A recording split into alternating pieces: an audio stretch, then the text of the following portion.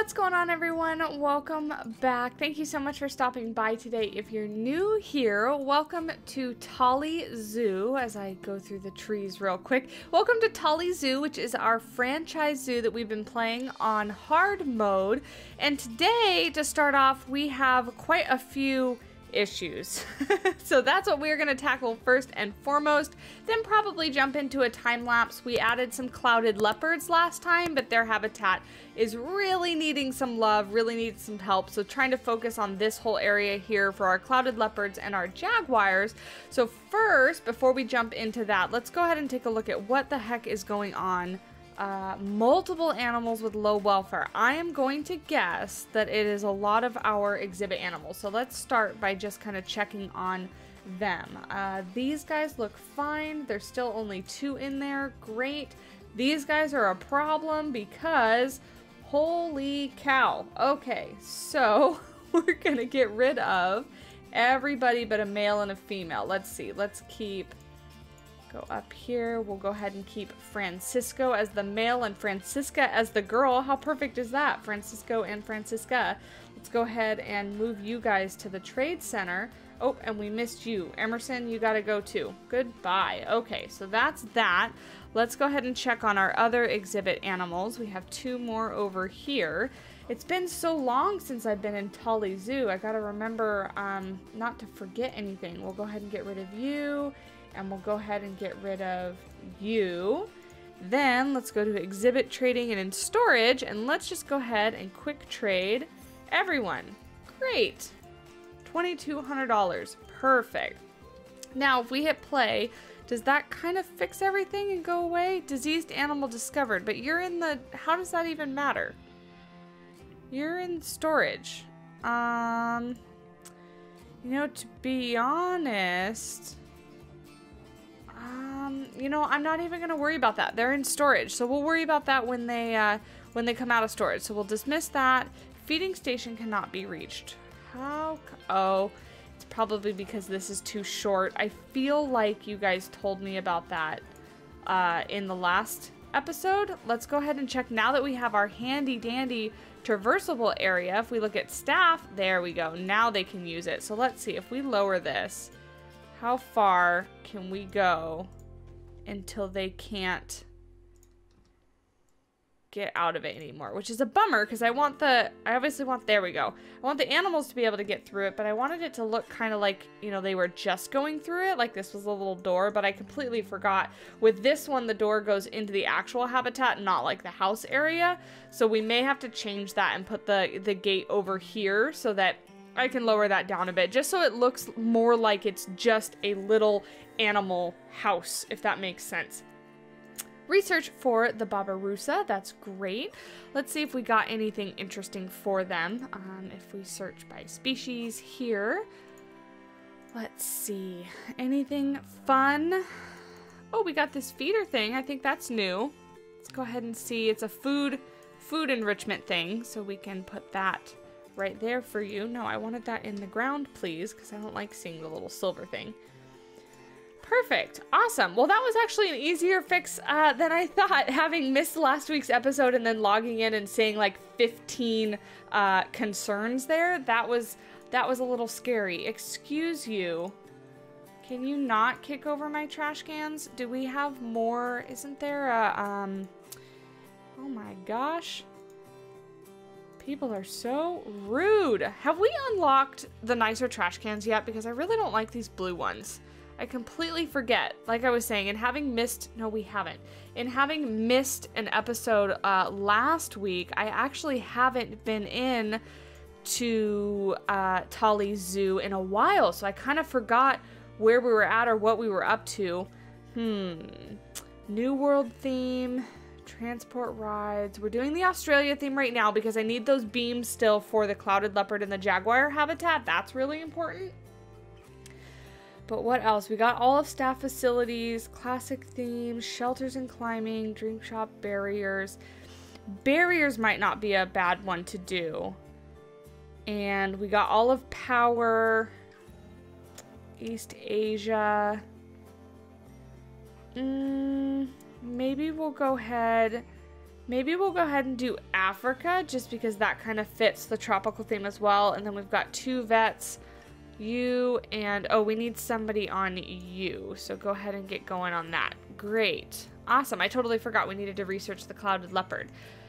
So that's awesome. Um, yeah, so I think today with the um, time lapse is let's go ahead and actually copy this. I want to focus on this area because I kind of want to start getting it all dialed in and pretty. So if we make this a building kind of like the other side is as well, we can put the habitat gate right here so that it is that like that on the other side? I guess it is, huh? Weird. I don't think I realized I made it that way. but I must have because I did it. It's like that, right? Uh, so anyway, uh, so we could put the habitat gate right here. Why is that all weird? What was I doing when I made this building? And why am I just now noticing it? just now noticing uh, that that is not lined up on either building. I guess I didn't notice it because the anti-climbing stuff is there and it actually kind of looks like it's supposed to be like that, but we're gonna fix it because I don't actually want it that way. There we go. Five episodes later and I realized what a what a weirdo I was. There we go. Okay, so that's that. Why is this so much? Oh, it's probably just because I made this barrier higher, not because that that um I almost said flamingo because I read that at the same time, but not because this building is any shorter. Facility broke down. Oh, what a shocker. It's a vending machine. Great.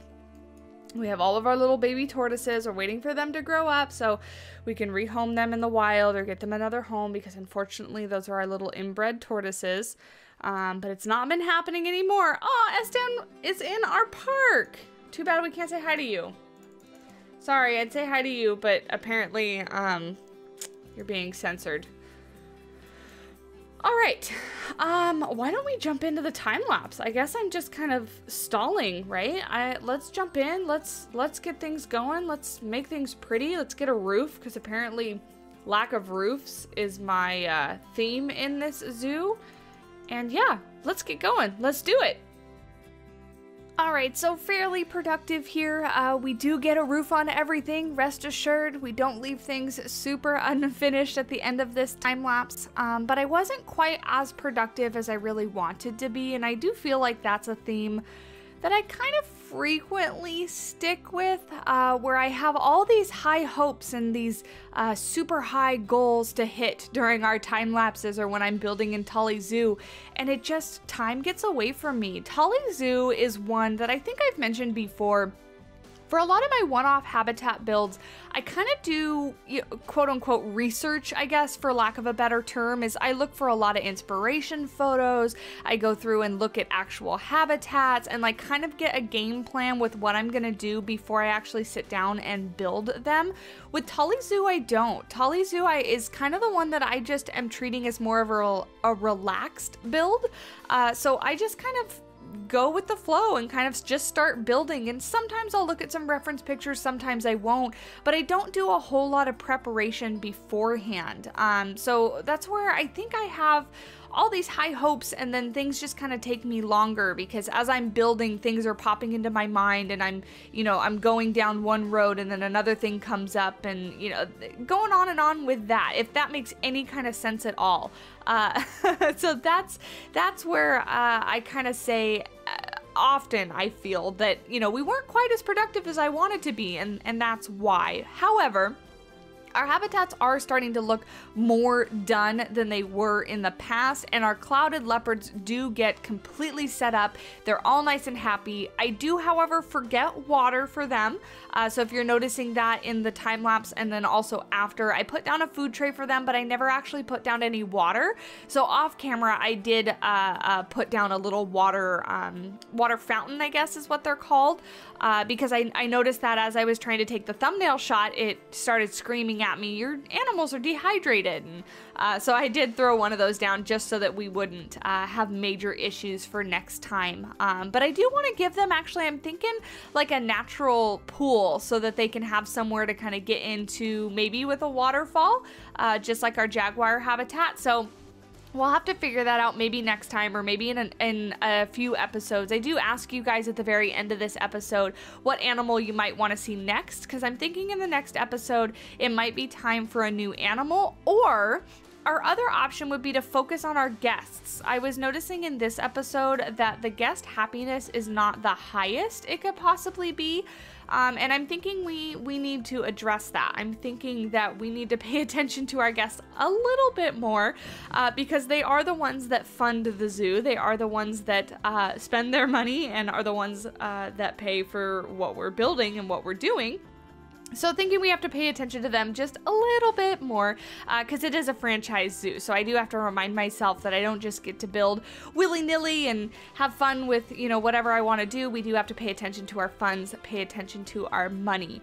Um, I did want to build a little bit longer in this uh, episode. However, uh, exciting news I was able to get my first vaccine, uh, my first COVID vaccine yesterday. Uh, and my arm hurts. my arm hurts a lot. I was actually really surprised with how how bad my arm hurts. And uh, me being the dummy that I am, they asked me what arm I wanted it in, and I just instinctively said my right arm uh, because I'm right hand dominant. ね。And so I was like, yeah, just do my right arm. And then today I'm regretting, like, why the heck did I do that? I use my mouse with my right hand. I use my phone with my right hand. And, and it's not, my hand doesn't hurt, but, you know, lifting my arm and moving it around is, is kind of sore. So uh, stupid me, I should have just said my left arm, but I didn't. So I got, I got it in my right arm and it hurts today. So uh, I didn't build for quite as long as I wanted to. And I'm not having uh, a bad reaction to the vaccine. I've, I've heard the first one's not that bad. It has made me feel kind of like icky and gross and just kind of run down and tired.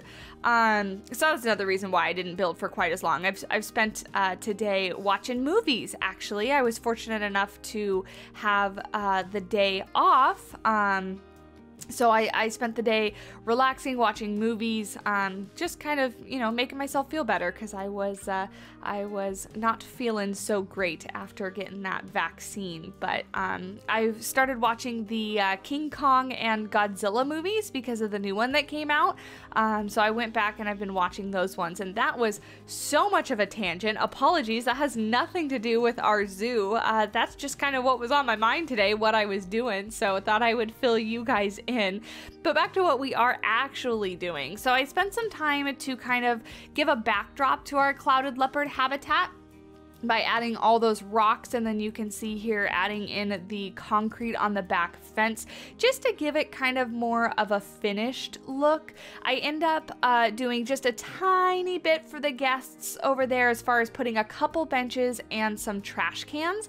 I really want to unlock the, um, they're like the black metal trash cans uh, that are I don't know how to describe them, but they just look like a more generic trash can. Those are the ones that I want to use. I don't want the themed trash cans. I don't want the blue trash cans. Uh, so I'm waiting to unlock those. I do a little bit more research in uh, this episode today, so hopefully, hopefully we get those fairly soon and we can do a little bit of an update on our park. Uh, get rid of all those blue trash cans and, and put in the black metal ones.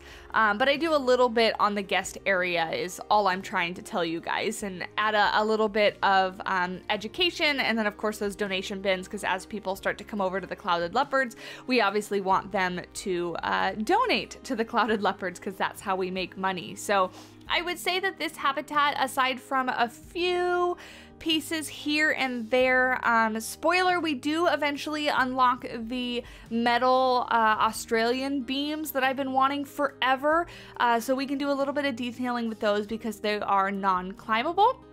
And that way our jaguar and our clouded leopard won't be able to climb out if we do a little bit of detailing on the fence area.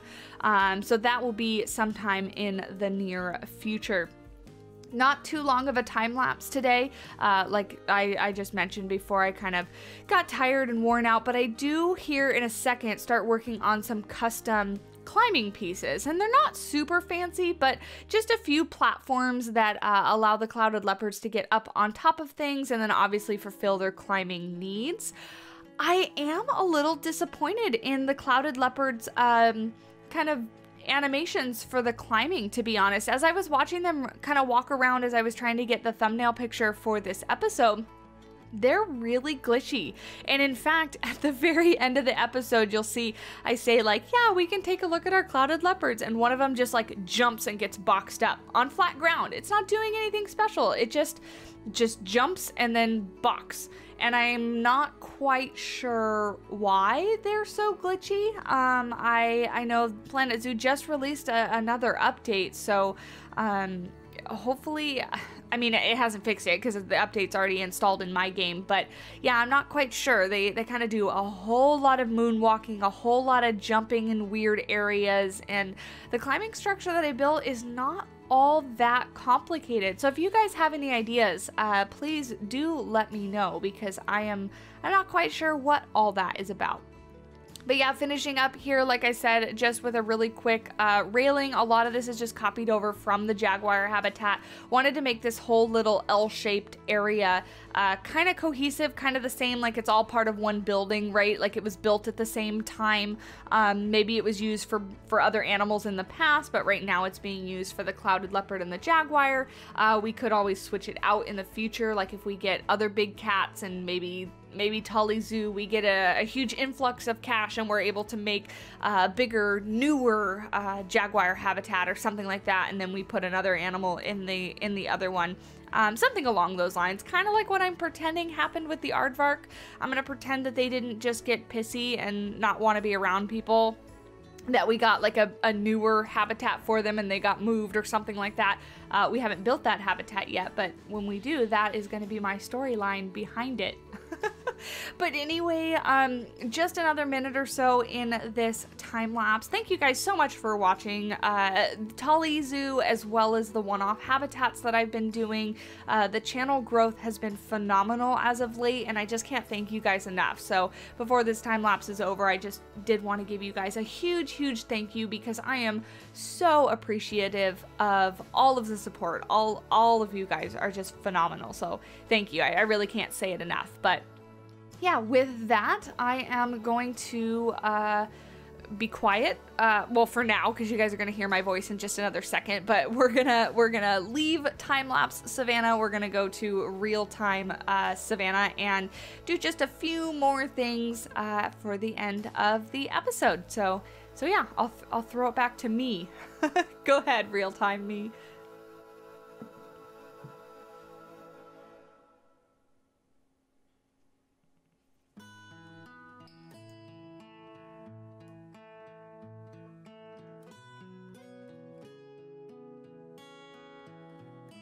Alright, so fairly productive time lapse there. I'm really happy with our clouded leopard habitat so far. So you see here if we, we lower down, we have a nice little view of them, lots and lots of climbing for them.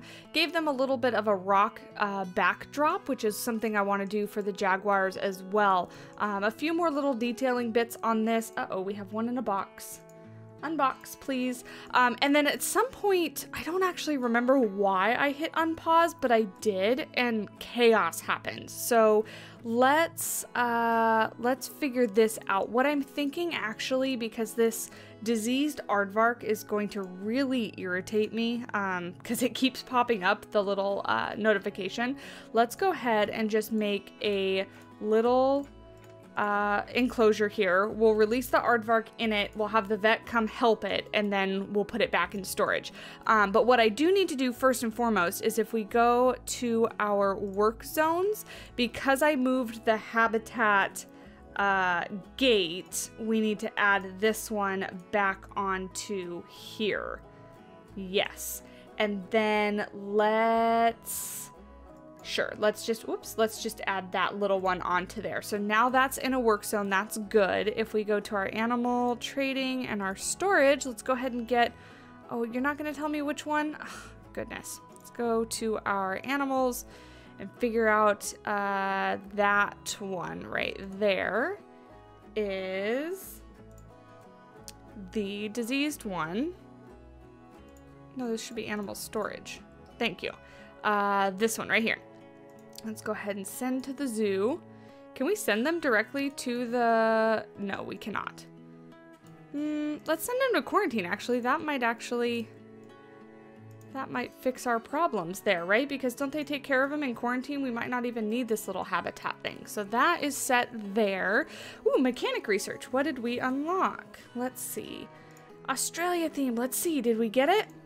That would be great if we did. Those beams. That's all I want is those those uh, metal beams. Yes, perfect. These ones right here is exactly what I wanted. Okay, so we'll take a look at that in just a second here. Uh, vending machine is broke down, but the mechanic is still on the way, right? Great. Call mechanic for that. And we should be able, let's hit play, see if things kind of right themselves. Uh, what else? Habitat cannot... Habitat cannot Oh, vet cannot reach habitat. Did I not connect it to the path? It should be. Is there not a vet in that work zone? Mechanic cannot reach. That should be fixed now, right? Because we added it to the work zone. Let's see. Um, overall, no, that's not what I want. Staff, work zones. Let's see, Jaguar. So one staff room, two buildings, three habitats. Great. Let's see, is there a vet? Yeah, in everything. Oh, did we not add it? We didn't add it to everything work zone. That's what we didn't do. Oops, where am I going? Sorry guys, I'm clicking all the wrong buttons as per usual. Here is our everything work zone, and we want to make sure we add that, and we add that. That's why they're freaking out. Okay, so they shouldn't be freaking out anymore, because now everybody should be able to reach everything. And let's see, souvenir profits, release in the wild, release two giant otters into the wild, okay. And then habitat species welfare, increase the average habitat species overall welfare to 82%. Well, we're, we're trying. Estan is still in our zoo. all right, so that should all be good now. Let's see, did this aardvark get figured out here? Oh, he's not there yet.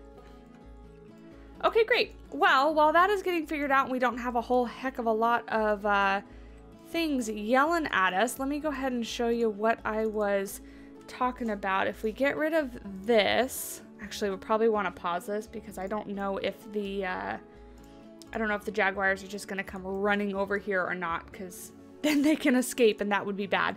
Um, but if I take this and we rotate it, I essentially want to replace this frame for those metal pieces because then it won't be climbable and they won't be able to escape. So let's put that there. And then if we go in here and we just replace it, I never remember what those stupid beams are called. So I always have to filter it by the Australia pack. Um, perfect. Let's go ahead and see. Why can I not see you? Mm, do we want to use the tiny ones? No, we want to use the big ones. So if we do this... Yes, great. Okay. So let's go ahead and delete that, delete that, and delete that.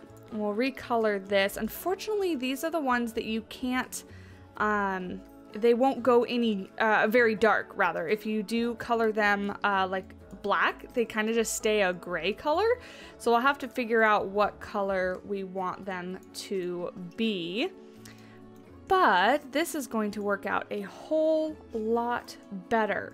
Uh, one question I do have for you guys while we're kind of taking care of this is what animal do you want to see next? Uh, I was so excited about adding the clouded leopard that I haven't honestly given much thought to what animal we'll put next in the zoo. So please do let me know what animal uh, you would want to see. I was thinking, you know, maybe we could do binturongs.